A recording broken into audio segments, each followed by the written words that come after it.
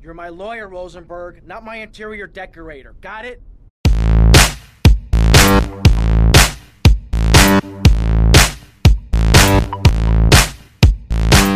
What up, viewers? Brad, proprietor Barstool Entertainment, returning to Vice City. I've been doing the Red Dead Redemption 2 videos four at a time, then interspersing with another video. And yeah, I missed a few videos with this Vice City because my capture device gave me a black screen playing certain missions and I'm trying to figure that one out. But this one is called Shakedown, and it's after Tommy has taken over Diaz's criminal empire. And it's very simple.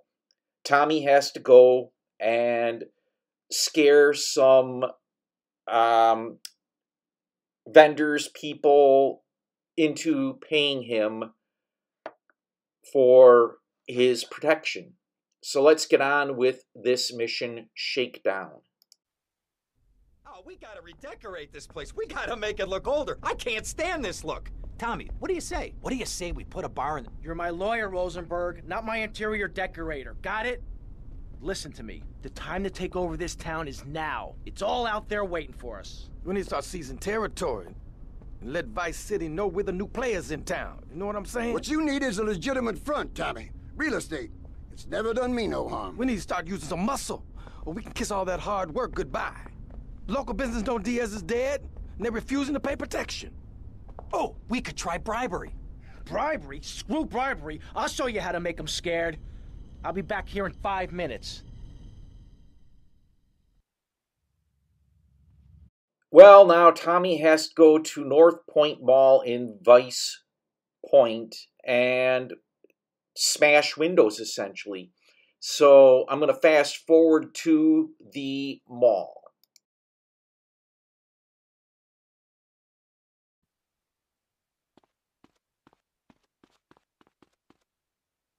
You only have to smash a certain percentage of the windows. I'm going to use a gun, but then I switch to a shotgun because it's a little more effective.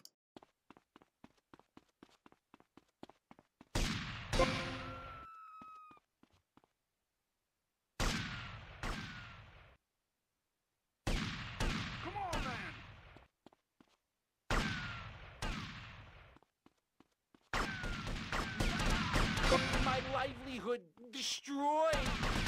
Versetti, remember the name.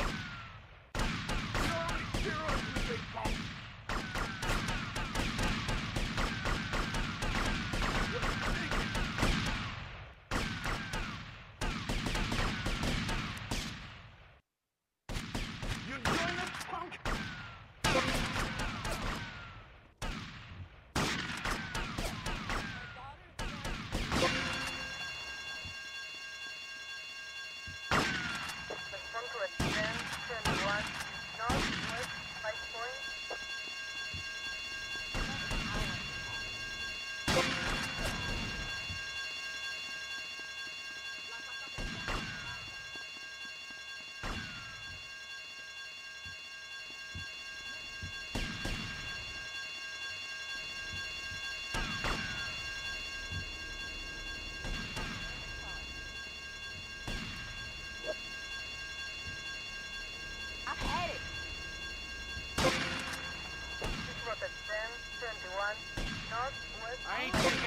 crap from you.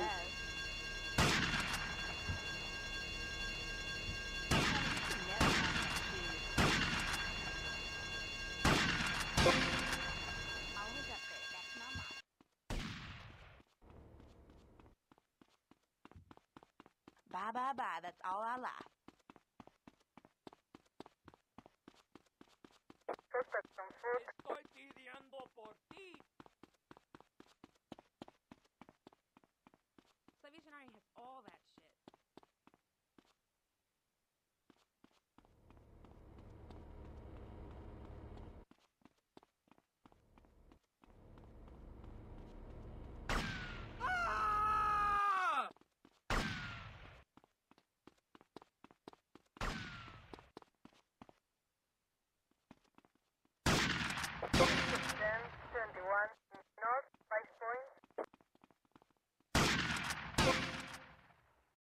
Once you've smashed so many panes of glass, this comes up and it informs you that you can buy property on maps. And you see the greenhouse, you can buy that property.